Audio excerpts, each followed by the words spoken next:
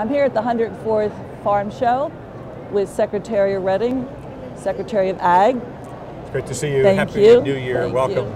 And I, every year you have a theme, and this year it's what is the theme this year? Yeah, it's imagine the opportunities. So tell me about that because last week on television, different times I heard little blurbs kind of almost requesting or asking or pointing out that maybe young people could come to the farm show and learn about opportunities for them in the future. Yeah. Well, it, it, it's one of one of the key sort of opportunities I think we have uh, at the farm shows to sort of reveal what is this industry about, right? We, I, I think most of society has this sort of uh, stereotypic image of the farmer, right?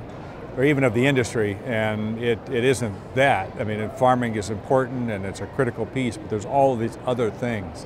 I was going to say it's changing drastically Changing too. rapidly, you know, as we speak, the technology pieces, and you know, it's a lot of factors involved, but we really think that the farm show is sort of eight days to sort of reveal the wonder of this industry and all of its aspects, and hopefully that spawns some people to think about a career in it or for parents to think about the children or grandchildren.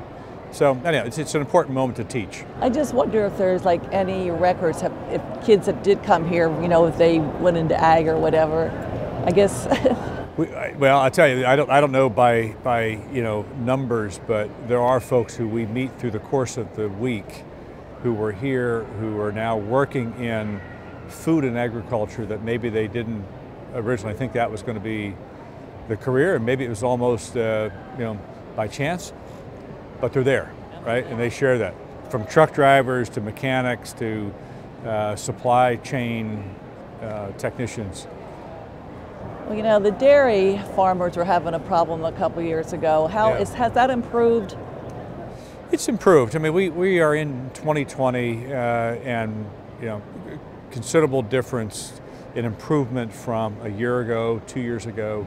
We went through this very painful period, as you know, for two and a half years, where there were a lot of farms that didn't have a, they didn't have a margin, right? Nothing left. So asking them to invest, to be more competitive, whatever, it, it couldn't do it. We're now at a point where at least we're into a decent price. It'll take a while to pay off what they didn't earn, right? Or they, or they replace the equity they lost. But we're in a better place. The challenge remains getting consumers to think about dairy, consume dairy products, and particularly Pennsylvania product, Pennsylvania preferred product. Now, what about hemp? Has are the dairy farmers have they switched to hemp, or is like I have one farm that I know of in my district that's pretty big in hemp, and then I have a farmer down the road that's kind of watching and learning from this guy, and he wants to make sure he knows what he's doing before he attempts it. But that is becoming big in Pennsylvania, isn't it? Oh yeah, I, I think the you know we just released this week the uh, guidelines for the 2020 uh, uh, hemp growing period. Last year we had 342 uh, permits. We had 4,000 acres. You can go to the food court and drink some hemp tea if you like. You can get some kitty litter made out of uh, hemp. You can go down here and look at the car and the building materials. It's here, and our, our challenge now is sort of build these markets that go with the products. But there are many, many opportunities around hemp. See, that's when I started here. there's auto parts made out of hemp, and Yeah. I, I haven't seen it here, but I maybe I better go down and check it out. But Take a look at the car that's down here, the BMW. The side panels inside, the dashboard is all hemp, the seats are hemp, uh, the fabric in the back, the trunk area is hemp. Uh, there's even some hard parts that are made out of uh, hemp. So uh, car manufacturers are doing it. The challenge we have is it's not from Pennsylvania, it's coming from China and Canada, right? So the, because we were out of the business for 77 years. so then we have to work on that and get it work to get it back. Right. So now this is also, I would think, like educational opportunities for. Do we have the schools in Pennsylvania that can teach our students how to to do, you know, work with this hemp and make We do. these products? In fact, uh, DelVal University, uh, where I was dean uh, for a few years in, in Bucks County, uh, actually was one of the research uh, sites. So they're teaching their kids, they're trying to learn different varieties and growing techniques. Penn State University's done a lot of work on the economics and some of the plants and the disease concerns of hemp. But uh, yeah, uh, there's, a, there's this sort of resurgence in people who want to grow hemp. but it's brought folks as first generation farmers into the business of agriculture.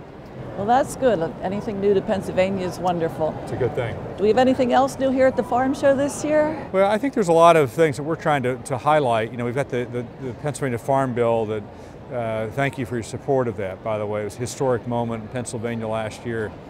Uh, and, but a lot of good things have come out of it that we can now talk about. We, we've announced this week uh, the ag and youth grants to help educate you know, a, a new generation uh, hopefully inspire kids to think about uh, food and ag as a career. We've got the business planning components of that. Uh, there's a lot of things that are in this complex that are related to the Farm Bill. Two, two sites you should look at. One, the Grange. I always like the Grange and their heritage quilt trail. They've got 107 different quilt blocks that are painted that are here that tell a story of Pennsylvania. Uh, it's really a nice piece. And then go uh, take a look at the waterfowl exhibit. We put the ducks back in their natural habitat of water and let them sort of swim and all those kind of things.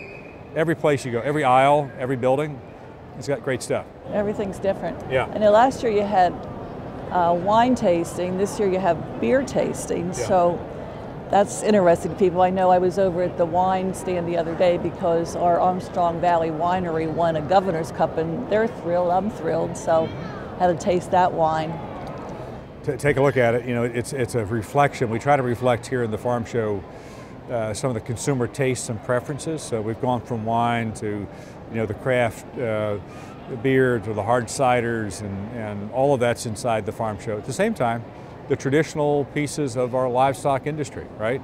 You go to the show ring, and but uh, it's it's all inside a million square feet here. Well, that's great. I heard you have a key, like when you're thirsty, instead of drinking water, you go get an apple. I do. Uh, I, have uh, added that to my list the last couple of years. I have found that if you drink fluids here, but in, if you're around the complex, there's, there's a fair amount of, there, there are temptations everywhere you look. But I like just a simple apple sometimes. Well, I heard you like the Honey Crisp, and I, I, they're oh, wonderful. I, am not going to hide from it. Uh, the Honey Crisp is my, uh, my favorite. So we have a bag back here that I reach into about every two hours. So now the butter sculpture this year, it's a little bit different. I think yeah. it's different, but yeah. I, a couple people said I want to come to the farm show to see it, so at least it's getting people here, getting attraction. It's been fun. You know, we, we, we departed from, uh, you know, mo most of our traditional butter sculptures have, have tried to capture some iconic, you know, um, uh, individual or uh, farm scene or our farm families or dairy products. We thought we'd do something around the sports and our mascots and the icons in our Pittsburgh and Philly regions particularly and capture those sports teams and, and, the mascots. It's something different. We knew as soon as we did it, as soon as you claim a team and put it in butter, uh, that in a state where everybody loves their local teams, uh, some would love it, others would say, what are you talking about? So, but it was, the idea was to sort of reflect our east and west teams. Right. Well, it's yeah. different and it's nice. And yeah. the farm show is wonderful. It's Always appreciate being here and talking to you. And thank yeah. you for what you do. We pleasure's mine. Thank Great you. working with you. Thank you. Thank Happy you. New Year.